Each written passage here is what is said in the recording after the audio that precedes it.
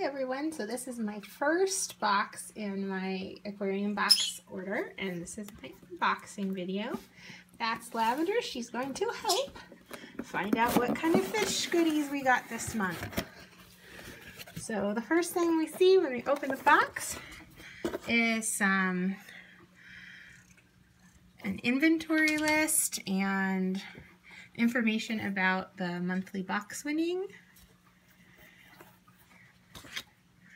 It looks like we got a sticker for Agcor Fish Farm. Hi, kitty.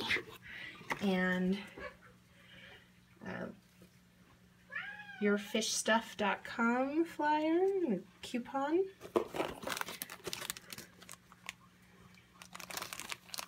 It looks like we've got here some do-it-yourself um, gel food. Looks like in a little tray for mixing and, and shaping little cubes in. So that's exciting. I have um, a gel food that I use for my plecos, and that'll be nice to have cubes.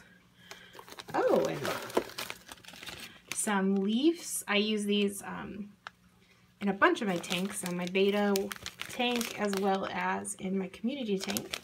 Um, so those are always nice. Let's see. Tropical Flake got some good salmon meal, shrimp plankton and krill mix in there.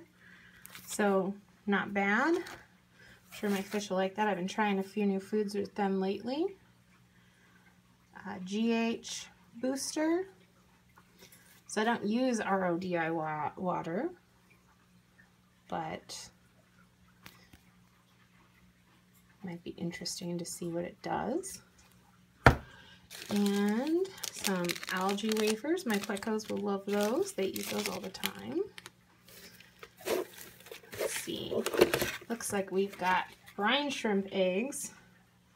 Well, I haven't hatched those out in a long time. I'm a big micro worm feeder myself. Let's see, what are these? Some sort of grip. I'm Not sure exactly what those do. Let's see what the card says. Replacement bucket handles. Okay. So if your bucket handle breaks, you can snap that on the metal piece. And it comes with two of them. So that's pretty cool. Uh, lots of new foods to try and some almond leaf or the leaves. So those are definitely things I use all the time.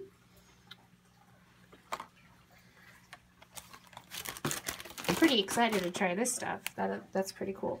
So, you know, a little couple things to use, some things to read more about, find out what about them, and um,